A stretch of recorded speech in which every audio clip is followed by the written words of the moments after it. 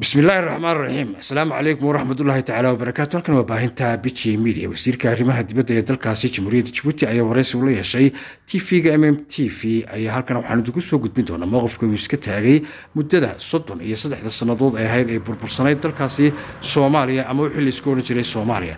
Jabuuti wuxuu si cad u sheegay wasiirku in haba yaraata ee bilow ilaa iyo dhammaad marnaba aanay mowqifkooda waxba ka bedelin ee ay ahayd in midnimada iyo wadajirka iyo dhulahaanta. Soo furan jiritaankooda inay ilaalinayso jabuuti oo aanay haba yaraatay waxa la yidhaahdo jamhuuriyadda somalilan iyo dowlad ay markaas jaar yihiin haba yaraatay aanay jirin.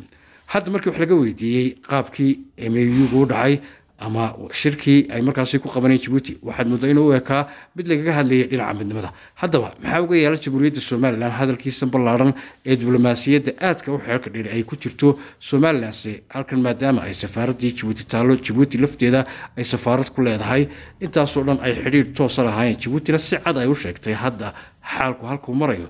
Waa maxay jawaabta jamhuuriyadda somalilan u taalla?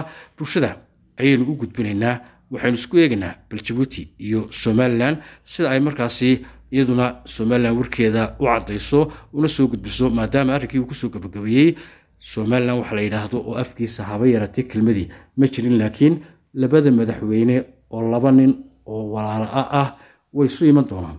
Wixii dhammaadka ka dambeeya ayuu hadalkan nuxurkiisana ku soo ururiyey isagoo iska ilaaliyey. Waxa la yidhaahdo somalilan oo xidhiidh iyo wanaag iyo wax ka dhexeeyaaba aanay jirin. Haba yaraatee daawasho wanaagsan. La soco biji media sabscribe-ka iloobin leega ka tegin. Isma dhaafno. Wasalaamu calaykum waraxmatullahi tacaala wabarakaatu kolka waxaanaku noo muhiima inaan maaragtay xidhiidhka fiican ee dhex marayey soomaaliya iyo etoobiya inuu soo noqdo sidii uun ku soo noqdo. Hadafkaabuu madaxweyne ismaaciil cumar uu qabaa. Kolka gobolkeennii dhibaatooyinkiis way badan yihiin dhibaato cusubna umamanu baahnin dagaal cusub umanu baahnin. Dhowaan waxaa jiray xaaladda geeska waad ka warqabtaa heshiis somalilan iyo etoobiya dhex maray. Warar kala duwan baa ka soo baxaya hadday noqoto dhinacyada etoobiya hadday dhinaca somalilan dhanka kale soomaaliya. Aad bay arrintaa uga cadhootay.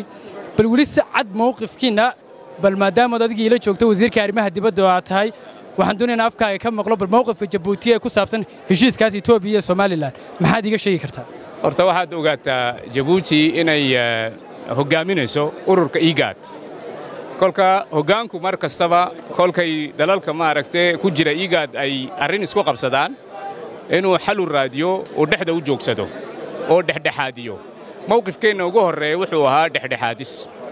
Kolkaa dhexdhexaadista kolkaan ka tallaabo mawqifkeennii mabda'igee ee madax bannaannida ee soomaaliya inaan la ixtiraamadaas horaan u sheegnay horaan u sheegnay midnimada iyo madax bannaanida soomaaliya waa inaan la ixtiraamo waan idhi waan sheegnay. Taas waa laba. Ta saddexaad kollayba m o u iyo wixii la kala saxsaexanayo maanta haddii aan ka hadlaa wax hirgelay wax ka hirgelay ma jiraan. Waxaan anigu ila tahay ina etoobiya iyo soomaaliya aan isku soo dhowaynayno imminka wadahadalkoogiina inuu soo dhow yahay. Kenya ku jirta jabuuti baa ku jirta shir hore ay ku qabsadeen nairobi ku kalaan ku wadna inaan lagu qabsado jabuuti kolka waxaanaku noo muhiima inaan maaragtay xidhiidhka fiican ee dhex marayey soomaaliya iyo etoobiya inuu soo noqdo sidii uun ku soo noqdo. Hadafkaabuu madaxweyne ismaaciil cumar uu qabaa. Kolka gobolkeennii dhibaatooyinkiis way badan yihiin.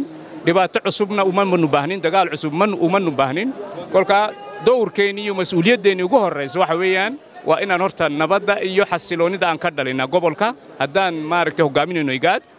Dhibaato kastoo meesha timaadaba waa inaan de xal loo helaa. Kolka mawqifka jabuuti aad buu u cad yahay.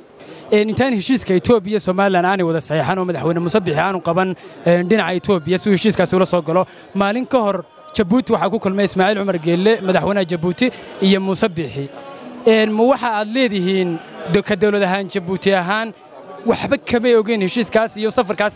Madaxweynuhu qorshaynaya inuu ku qabto etoobiya si uu heshiiskaasi ula soo galo. Boqolkiiba boqol waxba kamanu ogeyn sidaan kuu sheegay dowrkeennii asaasiga waxa weeyaan. Walaalaheen soomaaliyeed sidee baan u dhexdhexaadinaayo aan iskugu keennaayo oo quluubtooda nabaddaan ka dhalinnaayo oo midnimadii aan maanta ka shaqaynaa intaas ay dawladda soomaaliya burburtay ilaa maantadan midnimadaa un baan ka shaqaynaa mar meel aan joogsanna aan leenahay soomaaliya ha kala baxdo ama ha kala burburto ama ha kala tagto weligeen manu odhanin siyaasad maaragtay aan u joognaa aan u joogjoognahay iyo siyaasad maaragtay soddon sano ka hore aan qorshaynay weyaan kolkaa taasi waa mid shikilaba maahay xidhiidhka somalilan iyo jabuuti ka dhexeeyey taasi arrintaasi maxay u dhimi kartaa heshiiskaas? Maxay kula tahay? Kolleyba waxaan nahay deris baan nahay.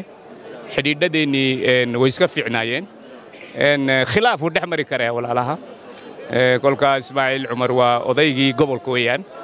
Xal kolleyba u heli doonaa iyo hadalkii fiicnaa uu ku soo dhoweyn lahaa walaalkii muuse uu heli doonaa insha allah